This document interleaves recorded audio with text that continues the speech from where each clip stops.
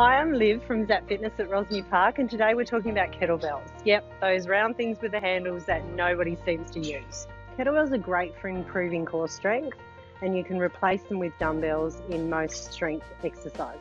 They're also good for cardio workouts.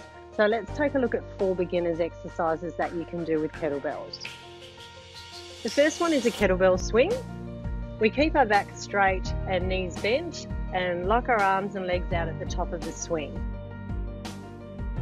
The second one is a kettlebell one-handed swing.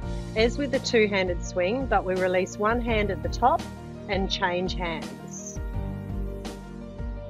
The third is a kettlebell goblet squat. We hold the kettlebell by the ball, bend our knees and make sure our quads are parallel to the floor at the minimum of the bottom of your squat.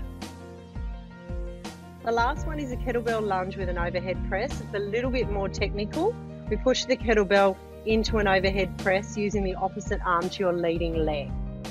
Aim for three sets of 12 reps and don't use a bell that's too heavy as it may compromise form. If you know anybody that may want to learn more about kettlebells, please share this with them and if you have any comments, please leave them below. Thank you.